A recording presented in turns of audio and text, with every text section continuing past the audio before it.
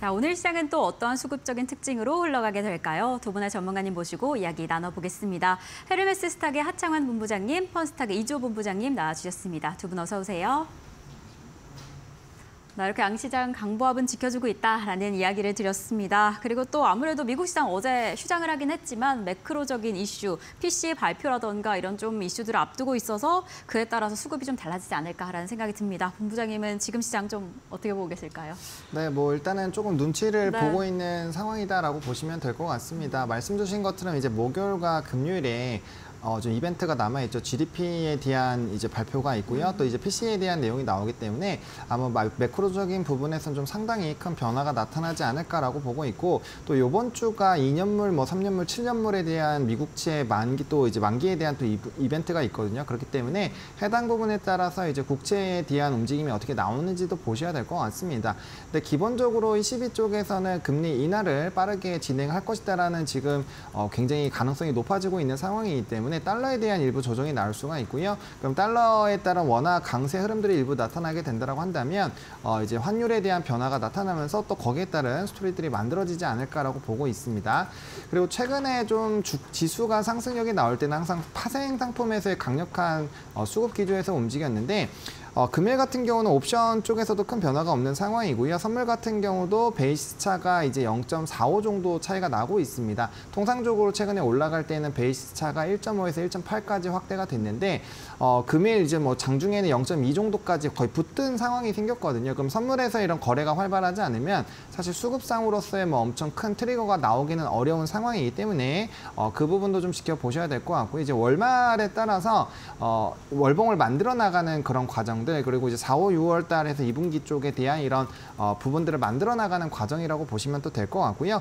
어, 양시장 모두가 지금 거래 대금이 거의 17조 정도가 터졌는데 거래소도 그렇고 코스닥도 그렇고 어, 이제 외국인과 기관의 수급을 다 합쳤을 때 각각 천억 전후로 왔다 갔다 하고 있거든요. 그만큼 이제 선물에 대한 변화가 없으니까 현물에서는 큰 변화는 없다라고 보시면 될 것 같고 또 수급길이 굉장히 상세하면서 순환매가 만들어진다라고 보시면 될 것 같습니다. 그래서 지금 시점에서 뭔가 큰 변화가 나온다라고 한다면 아마 목요일이나 금요일쯤에서의 이런 매크로 지표들에 대한 오픈이 나오고 거기에 따른 파생에서의 기준점이 잡히게 됐을 때 방향성을 가질 확률이 높기 때문에 지금 약간 제한된 수급 쪽인 부분 안에서 순환매로 시장이 돌아가고 있다라고 보시면 좋을 것 같고요. 그러다 보니까 이제 과거부터 수급에 대한 연속성이 높은 기업들에서 움직이는데 대표적으로 반도체나 전력, 자동차, 뭐 방산, 요런 화장품 요런 쪽이 대부분이 1월 달부터 6월 달, 5월 달까지 수급을 보시면 어, 순매수 기조가 굉장히 강했었던 산업군들이거든요. 그래서 그런 쪽에서의 순환매가 나오고 있다라고 보시면 좋을 것 같습니다. 네, 아무래도 지금 우리 시장 눈치 보기 장세가 이어지고 있습니다. 지금 금리 인하에 대한 가능성은 조금 더 가까워진 상황이다라고 이야기를 해주셨는데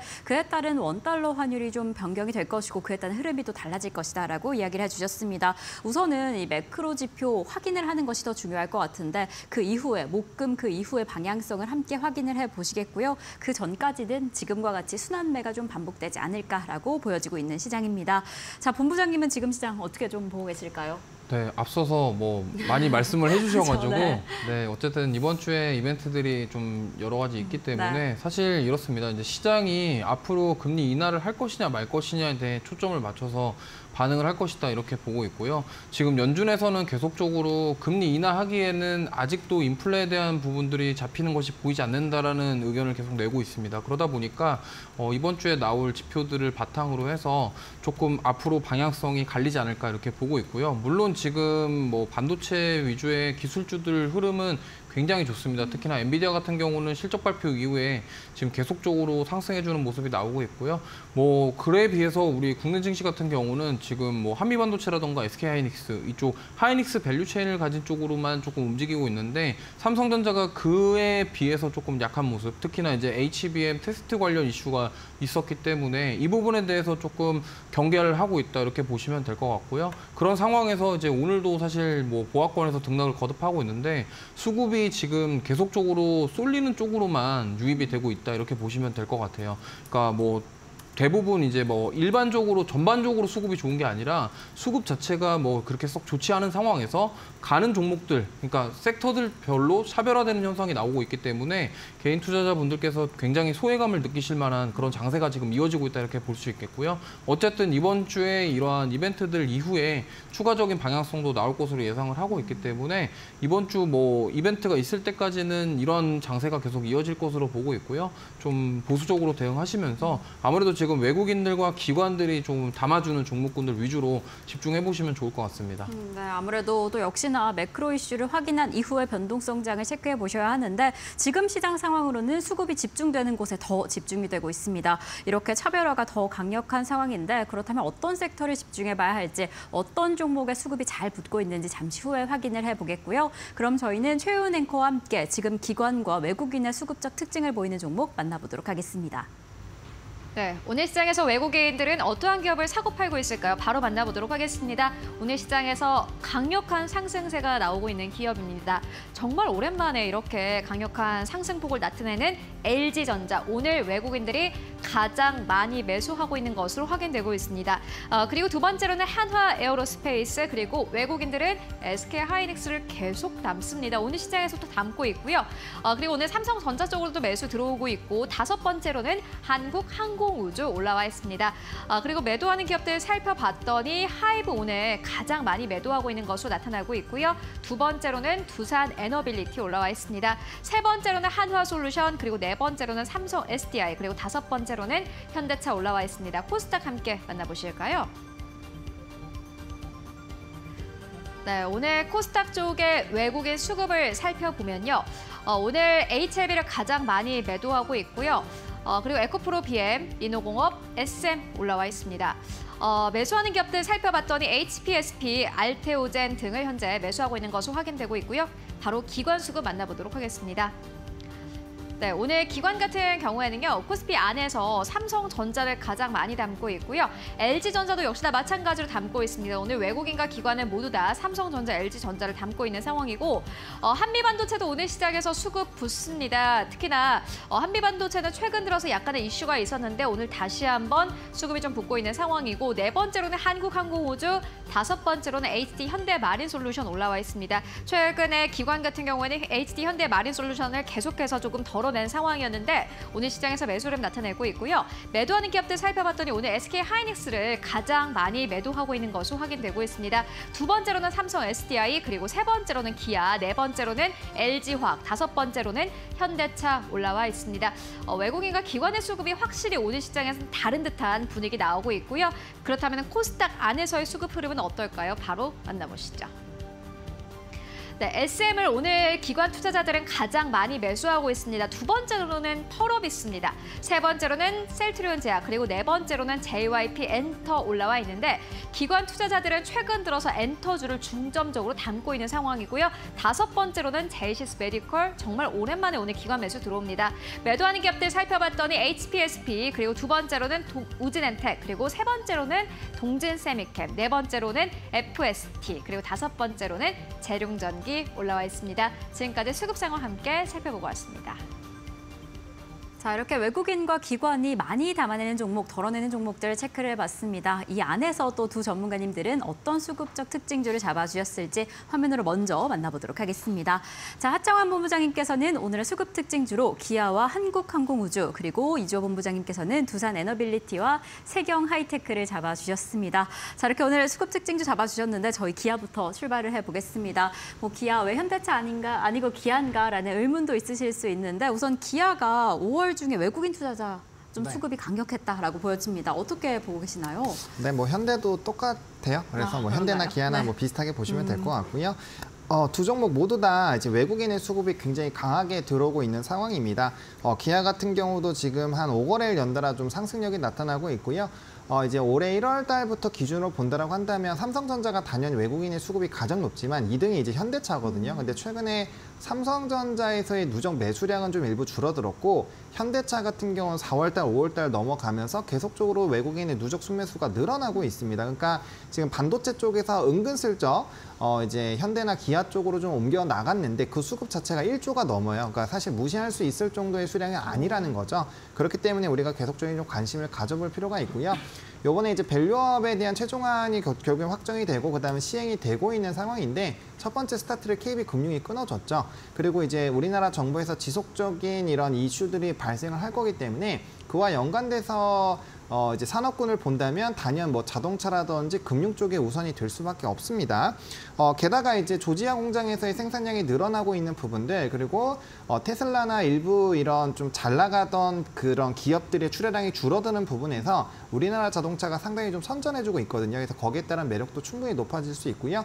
또 중저가 쪽에서 이제 EV 시리즈 쪽에서의 모멘텀이 또 추가로 부각이 될 거기 때문에 이 부분 역시도 좀 기대감을 높여 나갈 수 있을 것 같습니다. 게다가 우리나라 같은 경우는 뭐 내연기관차도 상당히 잘하지만 전기차에서도 기염을 좀 토해주고 있는 상황이고요. 특히나 이제 하이브리드 쪽에서의 기대감이 상당히 높다라는 점을 봤을 때 향후에 좀 긍정적인 모멘텀들 유지가 될 것 같습니다. 게다가 이제 중국 쪽에 대한 어, 이런 거점을 통한 수출, 수출 전략도 확대가 될 것이고 또 관련된 리포트가 일단 상당히 좀 긍정적으로 나오고 있다라는 점 최근 시장 같은 경우는 외국인의 연속적인 순매수가 나오는 산업군들은 지속적인 우상향에 대한 흐름들이 나타난다라고 버- 봤을 때 어, 지속적으로 좀 관심이 필요하지 않을까라고 생각을 하고 있습니다. 네, 이렇게 지금 현대차, 기아 완성차에 대한 외국인 순 매수세가 좀 상당합니다. 특히나 기아는 이 전기차 부분에서 해외 생산 확장도 좀 기대가 되는 상황이어서 이러한 수급적인 특징이 또 지수 상승으로 어떻게 이어지게 될지 계속 체크해 보시는 게 중요할 것 같습니다. 자, 오늘 이조 본부장님께서는 두산 에너, 에너빌리티 잡아주셨습니다. 아무래도 SMR 관련 이슈에서 수급이 좀 상당하고 지금 주가 흐름도 좋은데 지금 네. 어떻게 보고 계시나요? 어, 지금 오늘 두산 에너빌리티가 네. 2시 이후부터 지금 외국인 수급 들어오면서 양전을 아. 지금 시도하고 있는데 네. 원래 외국인들이 오늘 매도였는데 지금 갑자기 수급 바뀌었어요. 바뀌면서 외국인들이 순매수로 전환을 했고 지금 5월 달 한 달 내내 외국인들 순매수 해주고 있는 기업입니다. 그리고 특히나 이제 어제 같은 경우는 좀 많은 매수세가 들어왔고 개인들은 그때 팔았는데 외국인들은 사면서 오늘은 또 추가적으로 더 사주고 있는 그런 흐름인데 제가 봤을 때는 이 SMR 건설 프로젝트 2주짜리 수주 소식과 함께 이제 지금 7월 달 30조 규모의 체코에 대한 부분들 이 기대감들이 지금 반영되고 있는 것 같아요. 그리고 더 중요한 것은 지금 요즘에 연료 전지 그리고 이제 데이터 센터에 대한 부분들이 부각이 되면서 연료 전지가 부각이 되다 보니까 그거를 이제 에너지를 어디서 가져올 거냐 이 부분에 대한 부분들에 대안으로 지금 SMR도 나오고 있고요. SOFC도 나오고 있지만 어쨌든 지금 원전 에 대한 부분들이 이런 여러 가지 겹경사로 인해서 지금 수급들이 굉장히 좋고 지금 두산 에너빌리티뿐만이 아니라 원전 관련주들이 일제히 지금 상승세가 나오고 있기 때문에 네. 좀 과거에 원전주 랠리 나올 때 네. 초임 느낌이 좀 난다고 해야 될까요? 네. 뭐 다시금 이제 그동안 많이 쉬었던 만큼 되돌림이 나오면서 지금 폭발적으로 수급이 들어오면서 시세가 나올 가능성이 있다라고 보고 있기 때문에 7월 달에 체코 원전 수주가 어떻게 될지는 모르겠습니다만 어쨌든 그때까지는 좀 계속 적으로 좋은 흐름 이어가지 않을까 이렇게 말씀드리고 7월 싶습니다. 대상자 선정 전까지는 이 흐름 이어갈까요? 어, 저는 네. 그렇게 좋은 흐름 이어갈 것으로 좀 오, 예상하고 있습니다. 네, 좋습니다. 원전 관련주 전반적으로 다 힘이 좋은데 우선 뭐 SMR 관련 이슈도 그렇고 7월 체코 원전 수주 이슈까지 좀 이런 좋은 흐름 이어가지 않을까라는 기대감이 좀 듭니다. 특히나 지금 외국인과 기관 수급이 상당히 좋은 상황이어서 어떻게 또 주가를 더 끌어올릴 수 있을지 확인해 보도록 하겠습니다. 자, 본부장님께서 두 번째 종목으로 우주 항공 관련주 한국항공우주 잡아주셨습니다. 역시나 이 종목도 오늘 주가 네. 흐름도 좋고 오늘 52주 신고가도 경신을 했는데 지금 수급은 좀 어떻게 보고 계실까요? 일단은 뭐 외국인의 수급 같은 경우는 네. 15거래일 연달아 지금 순매수가 들어오고 있는 상황이고요. 뭐 한 달 기준으로 보더라도 외국인과 기관의 양매수가 좀 들어와 주고 있는 상황입니다. 어, 해당 종목도 이제 외국인의 수급이 주도력을 가지고 있는 산업군이기 때문에 뭐 상당히 연속성이 나오지 않을까라고 보고 있고요. 금일 같은 경우 이제 SK 증권에서 이제 방산 관련된 리포트들이 상당히 많이 나왔는데 어, 목표 주가가 굉장히 좀 높게 나왔습니다. 뭐 한국 항공우주 같은 경우는 8만 원, 현재 주가가 오늘 종, 그 시가로 보면은 어, 이 5만 5천 원대에서 시작을 했거든요. 그러니까 이 상방이 굉장히 좀 크게 열려 있다라고 보시면 될 것 같고 전방위적으로 이제 수주 잔고가 굉장히 크게 늘어나고 있다라는 점, 또 이제 방산 관련된 어, 이벤트가 또 있었죠. 그러다 보니까 해당 부분에서의 어, 방산에 대한 수주 기대감들이 좀 높아지는 이슈들이 좀 있는 상황이고요. 또 이제 수익성 부분에서 기대감이 될 수 있는 부분들이 늘어나고 있는데 뭐 헬기에 대한 이런 수요 증가와 어, 보잉이라든지 에어버스라든지 좀 굵직한 회사 회사에서의 이런 항공기 출하가 늘어나다 보니까 관련된 제품에 대한 수요가 또 늘어나고 있는 상황입니다. 그러니까 전반적으로 P와 Q가 동시에 늘어날 수 있는 상황이 유지가 되고 있고 또 수주 잔고도 여전히 좀 많이 남아 있기 때문에 뭐 마진율이나 뭐 이런 부분에서 얘기가 좀 일부 나올 수는 있겠습니다만 절대적인 수량 자체가 크게 늘어나고 있는 상황이고 이러한 기조 자체가 좀 중장기로 나아갈 수 있는 방향으로 보고 있는 상황이기 때문에 어, 충분히 좀 긍정적으로 보실 수 있을 것 같고 일단 항공우주 같은 경우는 26년까지 모멘텀이 있는 상황이거든요. 그렇기 때문에 좀 중장기적인 랠리도 한번 기대를 해보셔도 어, 괜찮지 않을까라고 생각을 하고 있습니다. 네, 오늘 정말 각종 리포트에서 이 방산 관련주에 대한 실적 전망을 상당히 긍정적으로 내놓았습니다. 지금 뭐 방산주 수주 잔고에 대한 흐름도 괜찮고 수출 기조 좀 우상향하지 않을까 정말 200억 달러 달성할 수 있지 않을까라는 기대감이 나오고 있는 상황이어서 한국항공우주 오늘 상승세 어떻게 이어질 수 있을지 확인해 보시는 게 중요할 것 같습니다. 자, 그럼 본부장님의 이조 본부장님의 두 번째 종목은 세경 하이테크입니다. 이 종목 수급적 특징으로는 좀 어떻게 보고 계실까요? 네, 5월 달에 좀 기관이 좀 강하게 매수해주고 있고요. 네, 네. 외국인 들 수급도 나쁘지 않은 상황입니다. 네. 기관 수급이 좀 메인 쪽으로 끌고 가지고 있다 보시면 되겠고 세경 하이테크가 지금 조정이 없이 계속적으로 지금 계속 우상향하고 있는데 단기 조정 눌림이 나오긴 하지만 전반적으로 지금 계속적으로 우상향 추세가 이어지고 있습니다. 그에 대한 부분은 중국에 대한 그 소비에 대한 살아나는 부분들 그리고 중국에 대한 폴더블폰 시장 이거에 대한 부분이 지금 주가에 반영되고 있다 보고 있고요. 특히나 이제 2026년이나 2027년에 출시될 예정인 애플 아이폰 네. 폴더블에 대한 기대감까지 지금 더해지면서 좋은 흐름 나오고 있고요. 앞으로 이제 수율 개선이라던가 매출 확대, 그러니까 실적에 대한 성장성이 좀 주목을 받고 있다 이렇게 보시면 되겠고 지금 오늘 뭐 대부분의 많은 분들이 지금 우주항공이라던가 밸류업 종목들 얘기하고 있지만 사실 이 종목 같은 경우는 정말 중장기적으로 좀 장기적으로 봤을 때 굉장히 앞으로 성장성이 뚜렷한 기업이기 때문에 꾸준히 보시면 좋을 것 같습니다. 지금 뭐 지금 고점이 아니냐 생각하실 수 있는데 좀 단기적으로 눌 림이 나왔고 한번 뭐 분할 매수 관점으로 접근하기에 충분한 가격대다 이렇게 생각을 하고 있기 때문에 말씀드리겠습니다. 네, 정말 이제 다가올 애플 이슈를 또 빼놓을 수가 없는데 세경 하이테크가 그 이슈를 좀 포함해서 상승하지 않을까라는 기대감도 듭니다. 지금 기관 매수세도 강력하고 조정 없이 쭉쭉 잘 올라가고 있는데 이 애플 이슈까지 좀 힘을 받아서 어떻게 움직이게 될지 수급적 특징은 또 어떻게 흘러가게 될지 계속 체크해 보시는 게 중요할 것 같습니다. 자, 그럼 저희는 오늘 두 분과 여기서 인사드리겠습니다. 오늘도 감사드립니다.